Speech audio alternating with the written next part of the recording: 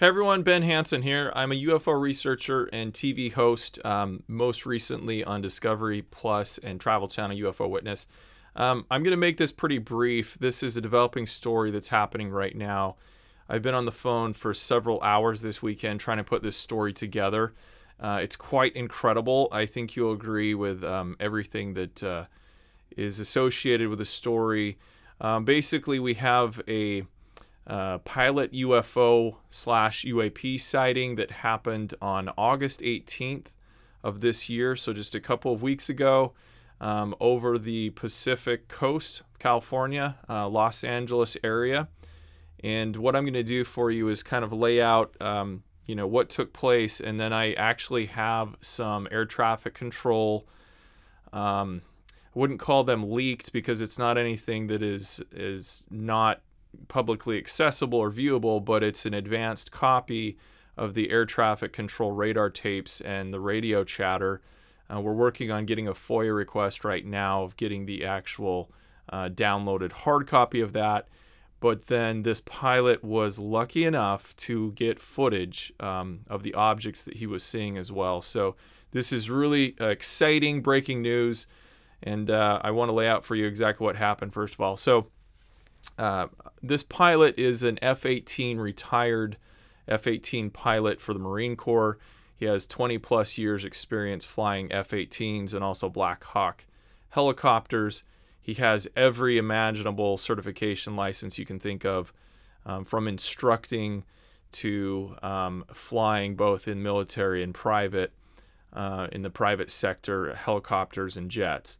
So he was flying for a private client on August 18th from Miami uh, Executive Airport, and they were going to Maui, um, Hawaii. So this was, I, I'm guessing, probably about midnight on the 18th. There's a three hour time change. Um, as they're flying into Los Angeles airspace, he is at 47,000 feet, okay, flying a Gulf, uh, Gulfstream 650. So the Gulfstream is going around at a, a pretty decent clip. Um, they measure the speed in Mach uh, numbers as soon as you get up to jets that go this fast, and I believe it was 0.87 Mach. So of course not, you know, uh, greater, faster than than Mach speed, but I think that translates to about 560 knots. So at any rate, 47,000 feet. He notices a uh, a, a group of two to three lights. They're red in color. He describes them as red. As you can see here in the video we'll play in a minute, they, they almost take on a pinkish purplish tint. That might be just because the phone and, and how it was filmed. He describes them as red, and these lights are pacing his aircraft. Okay, so he just came off the coast. He's heading due west over the ocean and these lights followed his aircraft for about 15 minutes, is what he estimates.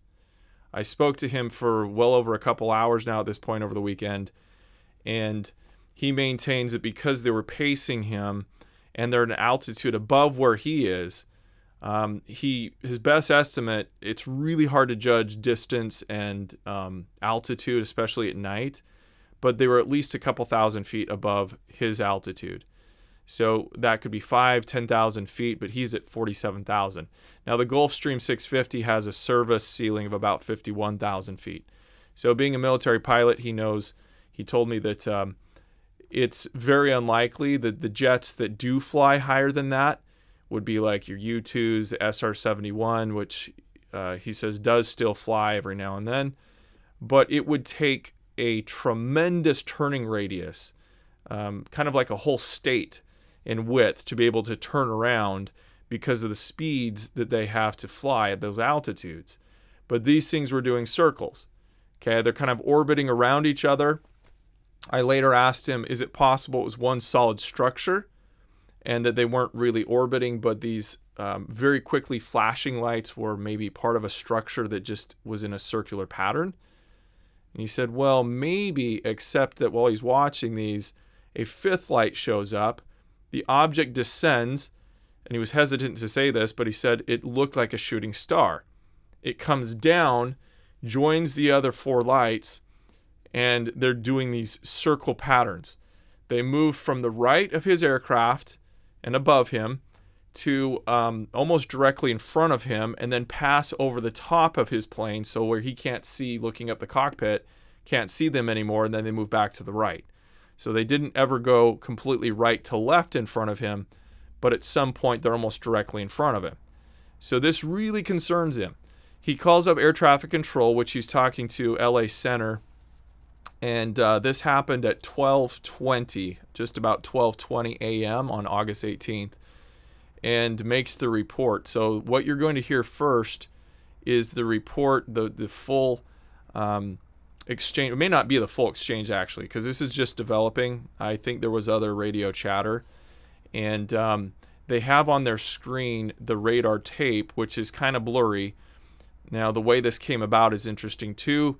Like I said, it's um, it's not anything that can't be released to the public, but the air traffic controllers were so excited about what they were seeing when he landed on their own they took initiative to find him find him through his company and call him and said um, it wasn't just you that saw these in fact there was um, to his recollection it was a united and a delta flight as well that had seen these lights they just didn't want to report it over the radio so we have multiple witnesses um, this is not something occurring in the cockpit, like a reflection off the the, the windscreen, um, you know, of lights inside the cockpit. Definitely not.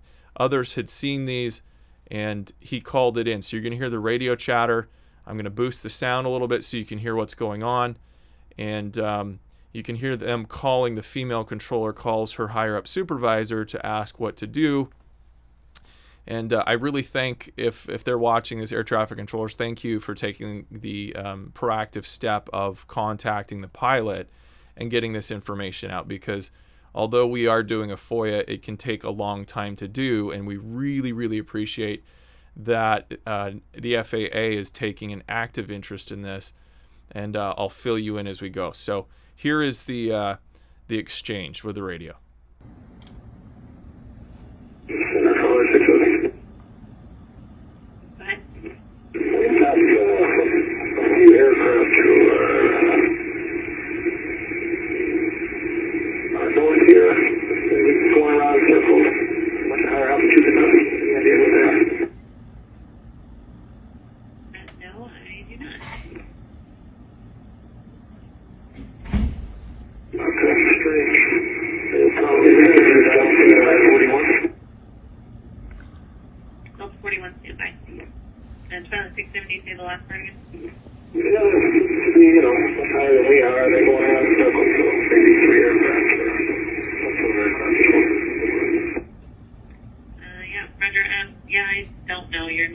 any military airspace or anything. I'm not sure. Delta 41 Delta. Uh, Delta 41, uh, We're just wondering if uh, we needed a frequency change. I'm just waiting for you to level at level 340. Are you level now? Uh, Delta uh, 41, we are just leveling now at 340. Delta 41, roger. Radar service terminated. Change to under frequency. Hey, switching Delta 41, thanks.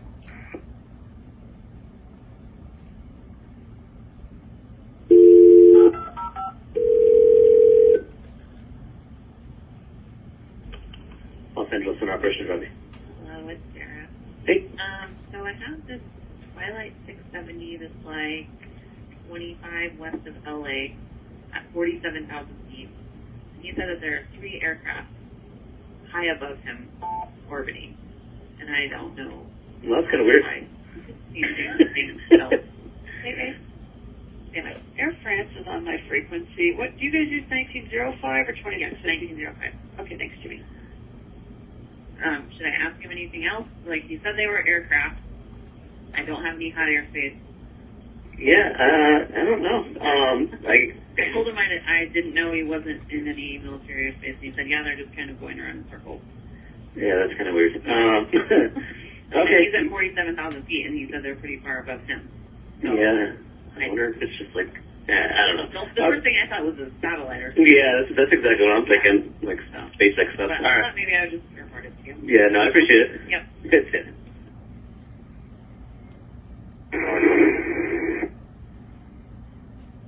Okay.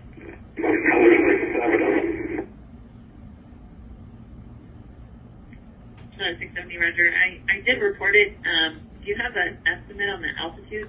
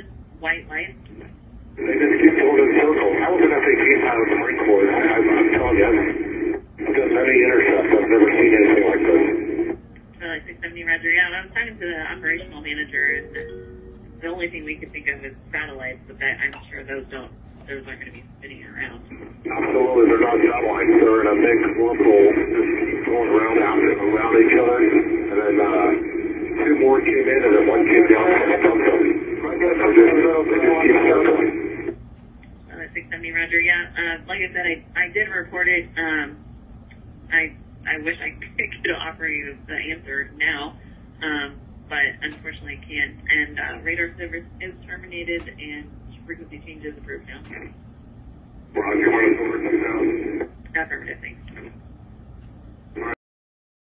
All right. Um, pretty crazy. I really love the the back and forth radio chatter, and um, you could tell he was hesitant at first, saying, "I've got you know two or three craft above me," and uh, was asking if they had anything on radar. And she says, "No, I don't."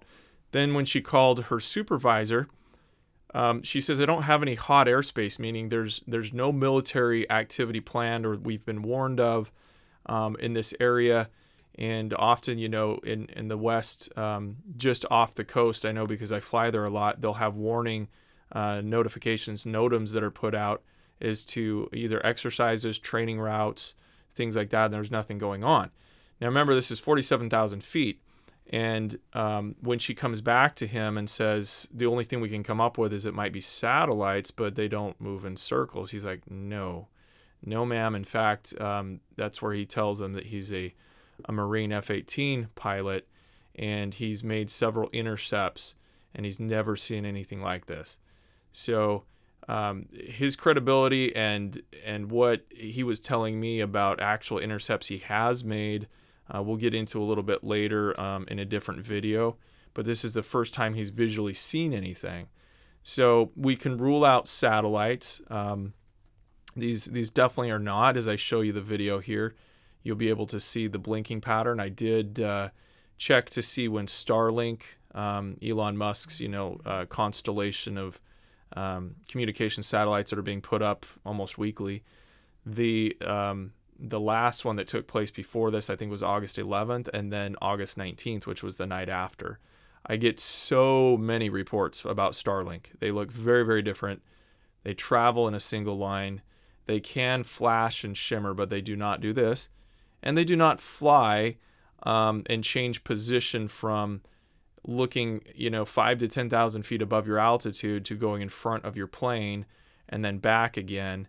And um, definitely uh, not a satellite activity that we're looking at here. And uh, it's not in the cockpit, like I said, it's not something that he's seeing in the windscreen because we have other witnesses. So let's take a look at the video of what actually he filmed from the primary flight display. Now, as I pull this up, you can first see that uh, this flight display is divided into the attitude indicator on the top, shows the elevation to the side is 47,020 feet.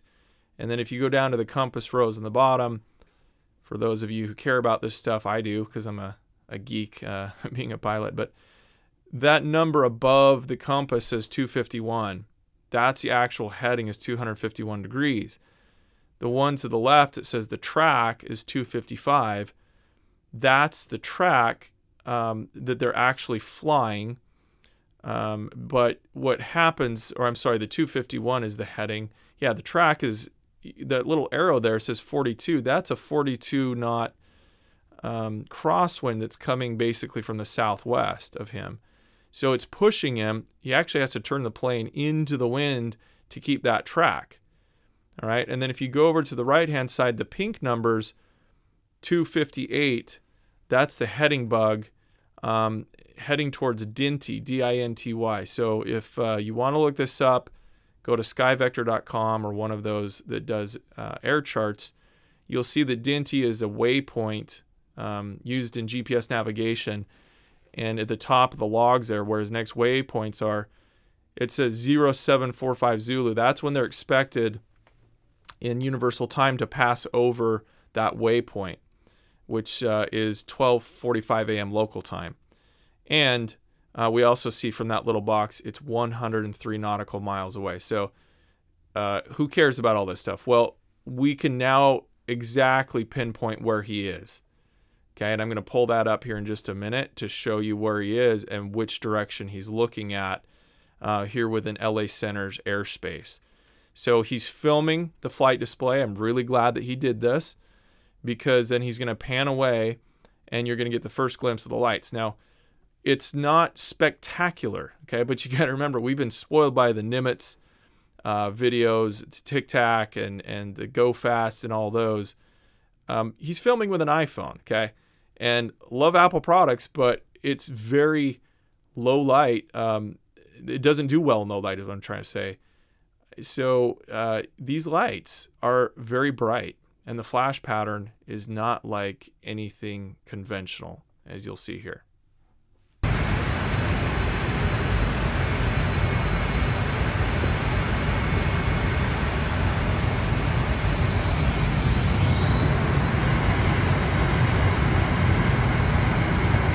So he apologizes for filming vertically. Um, a lot of people do this, and you get excited and do it even when you don't know not to. But um, I'm going to zoom in because it's just a quick little glimpse initially, and I'm going to zoom in on just that part of it so that it can fill the screen, and we're going to slow it down as well.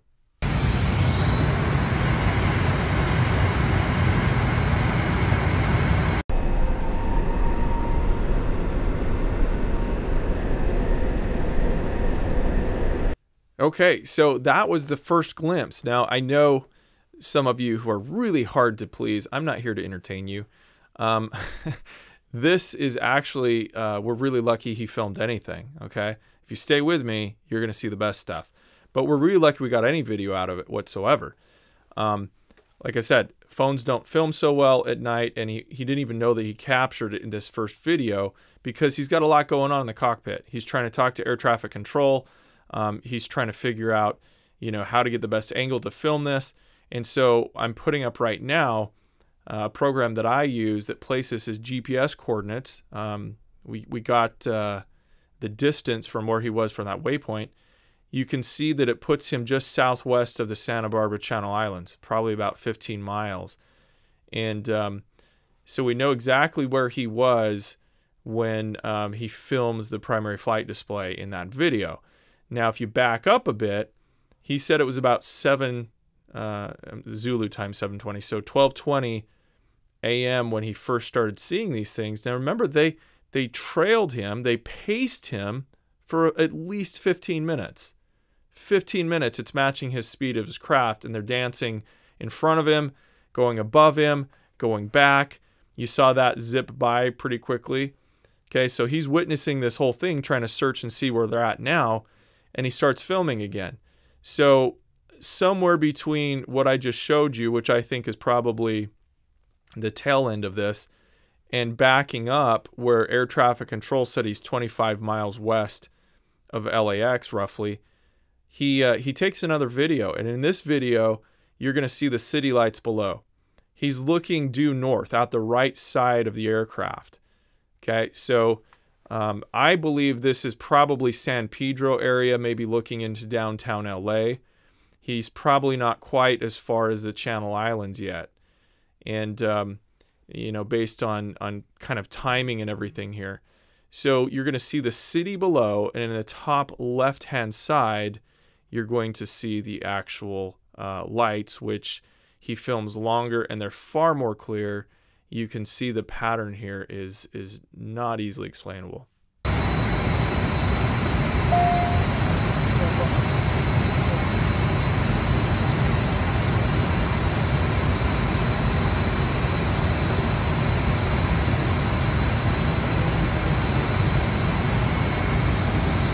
Galaxy 70 we status to movement.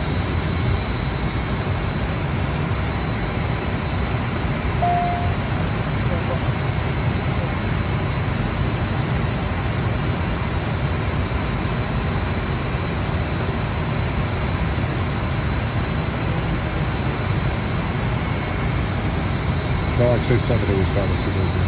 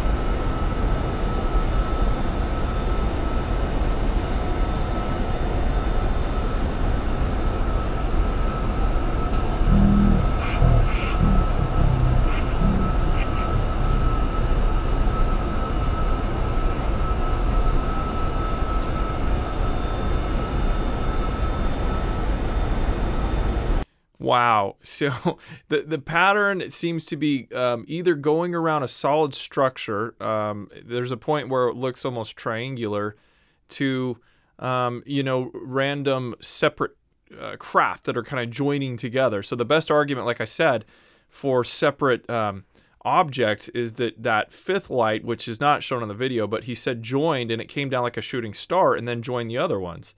So um, what is it? I mean, we could talk about drones. All right, let's let's be open to that possibility. Well, 0.87 Mach, for those who want to know the conversion, is 574 miles an hour. For those of us who use metric system, 923 kilometers an hour, or 498 knots. So, uh, conventional drone, uh, that high up, above 50,000 feet, moving at that speed, not only moving forward with him, but then changing direction rapidly to come across the top of him and over the top in that turning radius. We're not talking about off the shelf drones. I don't really know that. Uh, let's just say this if it's not US, we're in deep trouble. Okay, if that's somebody else's drones uh, making maneuvers like that, because it's got to be using some um, alternative propulsion and inertia uh, displacing system. So, We've got very, very fast objects or object. And um, here he's filmed it. As you see it slowed down. One interesting side note that he pointed out to me as he was on the phone with me is that the tail end of that, if you look up in that upper quadrant, there is some sort of purplish pink uh, beam. Looks like that's coming down. Now, my initial thought is that this is some type of a lens flare maybe um, a reflection kind of that is caused by his windshield from a, a, a, really bright light source, which would be probably in front of the aircraft. So I'm thinking, is the moon out? All right, is, is the moon bright and is it in a direction where, as he's just moving around, it causes that sort of a flare to appear? And um, I did reach out to Mark D'Antonio, who is MUFON's chief photo analyst, and had him use his software to find out where was the moon that night, exactly at that time, and uh, in Los Angeles. And pulling up on the screen here, you can see that it's in the northeast at 75 degrees azimuth, 15 degrees off the horizon, and less than half percent full.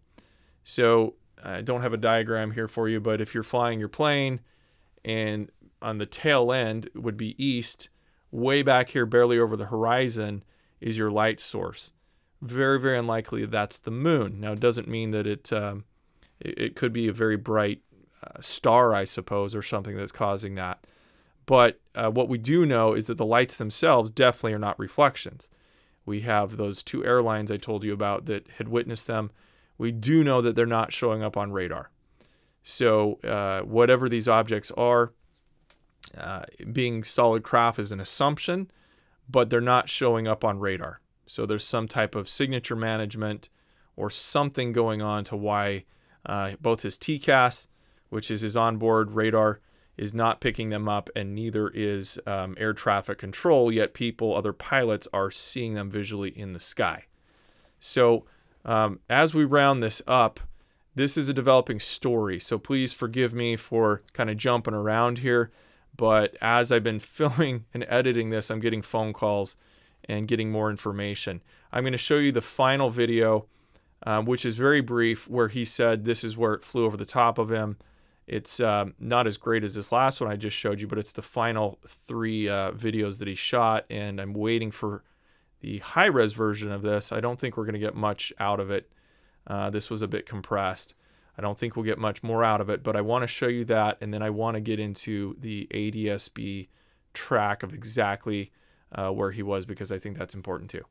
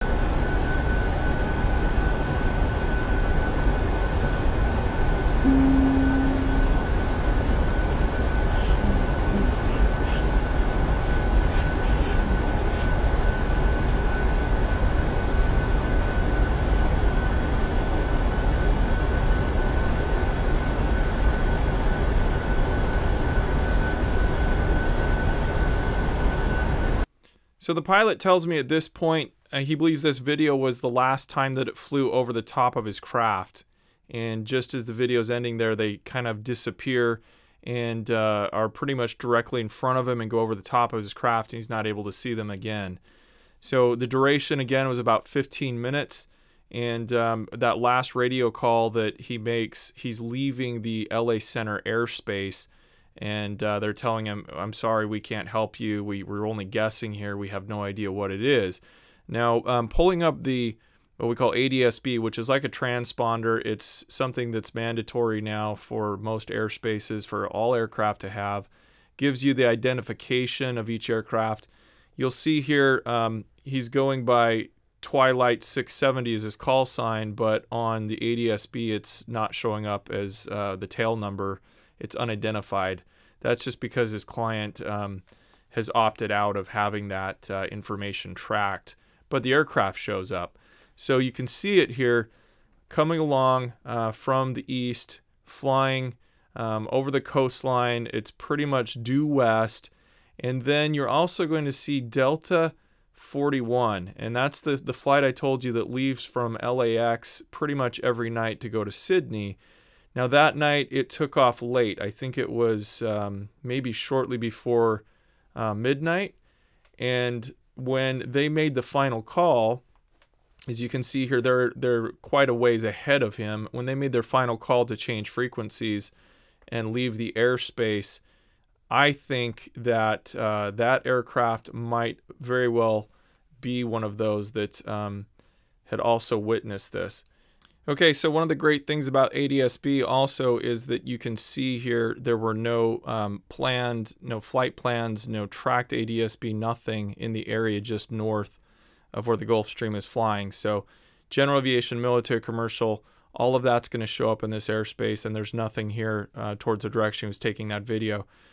Um, also, I guess we could kind of put a, a general call out here, and I could use everybody's help if you know anybody who was on one of these flights, I've identified a couple of of um, commercial flights that the passengers or pilots may have seen something because they were either leaving just before or uh, right after the Gulfstream. We have uh, Fiji Airways um, 811. We've got um, Air France Flight 78. And then fast forwarding, we have Qantas Flight 12 and United 2650. So um, again, this was about 1220 to 1240 a.m. on August 18th. It'd be really great if uh, we could gather that information. My social media, the, the best way to get a hold of me, um, my website is Ben Hansen, H A N sen.com. There's some contact info there, but I'm also on Twitter and Instagram, and I'll be posting updates on um, primarily Twitter and Facebook is is where I usually do things. I'm trying to get up to speed on Instagram. I'm not on TikTok, but um, this is is developing. I'm still getting calls as I'm sitting here.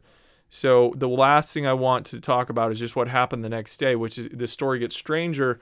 Is that as uh, the pilot lands in Maui, like I said, the ATC um, tracked him down, and somebody there um, gave him this copy of um, the the taped footage, and we're now trying to track down because there is information, if true, that the actual tapes might be corrupted or deleted. And and I'm not, I don't want to jump to any um, conclusions here. We don't even know if this is verified yet. I would hate to think that it was deliberately done if if it happened. Um, a lot of times, I mean, my even my copy of it here was somewhat corrupt. So don't uh, don't know what's going on there. But they also gave him a phone number to call, and um, the pilot was not sure who he was talking to when he called this number to make the report. He said it was a government agency in D.C. Um, I've since been able to trace down the number to the Joint Air Traffic Operations Command, or um, JTOC Air Traffic Security Coordinator. So this is great. I'm really glad the FAA is taking this seriously because they kicked it up the food chain. They said they already had the radar tapes and the report from ATC. Um, not going to get into how the policy goes when when they have something anomalous like this, but um, apparently, I believe there was talk of them compiling this to include it in the congressional uh, data reports that's going to to Congress for the next round of um, UAP hearings. So that's great news. Just trying to do our part in this in tracking down what exactly happened and get the word out. Very, very strange. Um, that so many you know different aspects of this that remain yet to be um, answered and, and things that we need to tie up on. So thanks for listening. And please reach out to me if you have any more additional information and news media. And those who want to cover this can find me um, primarily through my website at benhansen.com. Thanks so much, everybody. Stay tuned. Uh, things are about to get uh, exciting, I think, in the next year. They just keep in circles. I was an F-18 pilot in the Marine Corps. I'm, I'm telling you,